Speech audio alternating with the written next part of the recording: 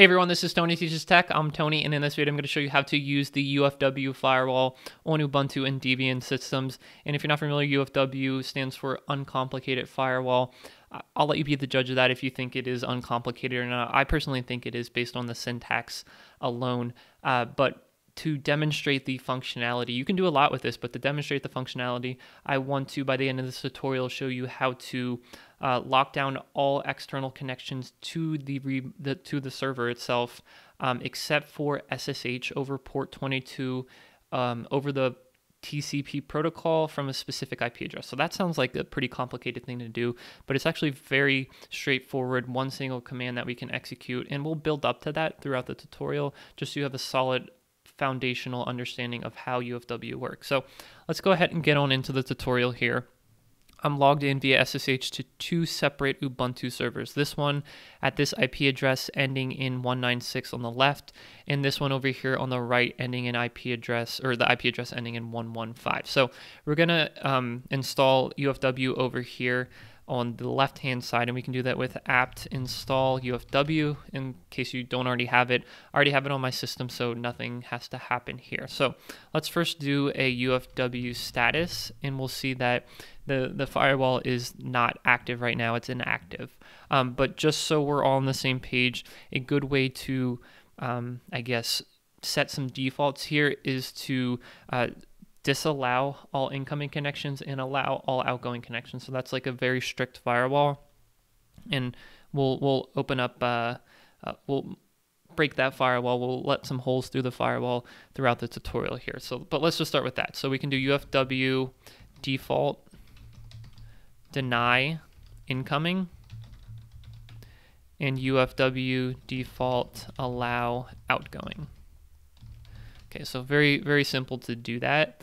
Um, and right now, if we do UFW status again, we're still inactive, so we need to actually activate the firewall. Um, but before we activate the firewall, I just want to show you that I can SSH into this from an external system. So we can do that with SSH root at 23.92.26.196.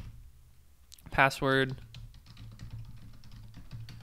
and there we go. We logged in. Welcome to the server. We'll uh, we'll see this message pop up anytime we log into the the remote server here. So uh, let's get out of here and let's do UFW enable to actually enable the uh, the firewall. And it's saying this command might dis disrupt the existing SSH connection over here on the left hand side. Um, I never seen it actually do that, uh, but I'm sure it's possible. But I'm going to take my chances and enable a firewall anyway.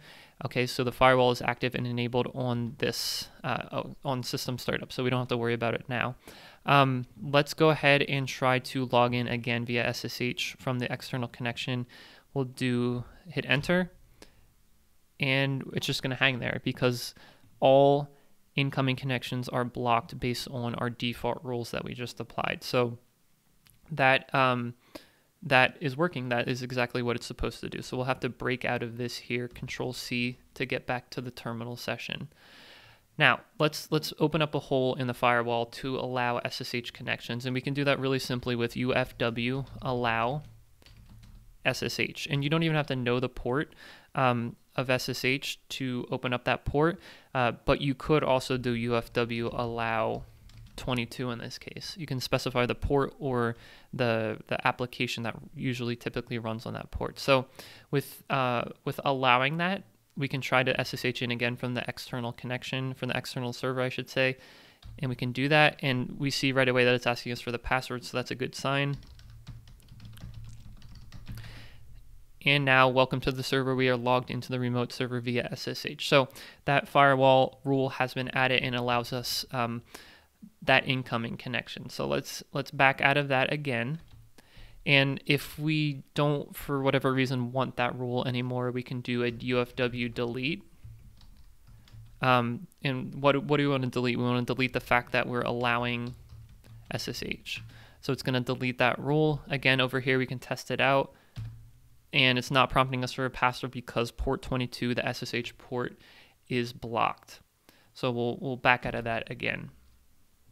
Okay, so um, one thing that is I think is really cool, if you have a static IP address that you're working from, um, you want to block all SSH connections unless it's coming from a specific IP address. And we can do that again with this uh, fairly straightforward syntax. Um, we can do something like UFW allow from, okay, and then the IP address that we want to allow from is over here. So 192.53.124.115. Make sure I get that right, 115. Um, and we'll say to any port 22, okay? So we'll add that firewall, rule, firewall rule, and then we'll try to SSH back in over here on that uh, on that specific IP address, asking us for the password. That's a good sign. And it lets us in. Now, let's back out of that. Let's open up a new terminal window here, just a local terminal window on my MacBook. And let's try to do the same thing. So SSH root at 23.92.26.196 and it's preventing us from logging in via SSH because we are not the IP address that we specified. We are not 192.53.124.115. We are 23.92.26.196. You get the point. So all, we'll get out of here, all um, incoming SSH connections are disallowed, are blocked unless it's coming from that specific IP address that we specified. Um, now we can expand this rule a little bit further. Uh, UFW allow from this specific IP address to any port, uh, but typically for SSH you don't need UDP. So that for uh, the IP protocol, there's TCP and UDP. We don't really need um, UDP, so let's just specify explicitly proto TCP to make that a little bit more locked down.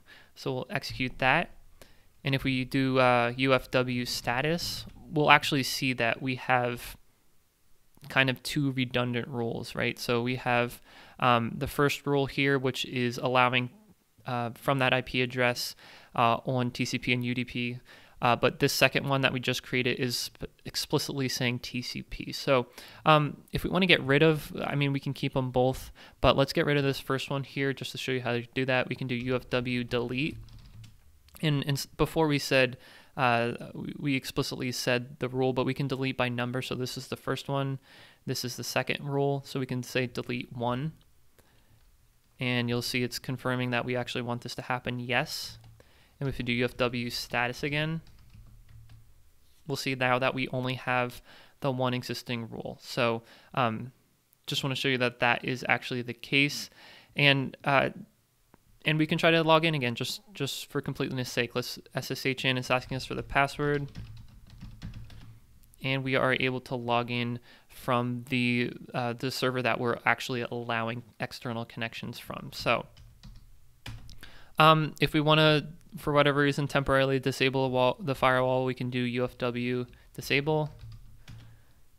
And the firewall stopped and disabled on system startup. So again, if we go to our uh, local um, on my MacBook Pro, not a remote server, and try to SSH in from the local computer here, um, it should allow us to log in, and it does. Um, so Guys, if you have any questions about UFW, the firewall in Ubuntu or Debian, let me know in the questions below. This wasn't um, necessarily a comprehensive tutorial. You can do a lot more with this.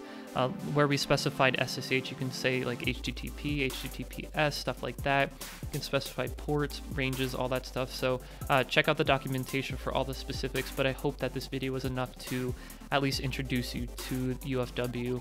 Uh, so yeah, like I said, let me know if you have any questions. If you want to see more videos like this from me in the future, definitely consider subscribing to this channel. I really appreciate it if you do. And if you do subscribe, I will see you in the next video.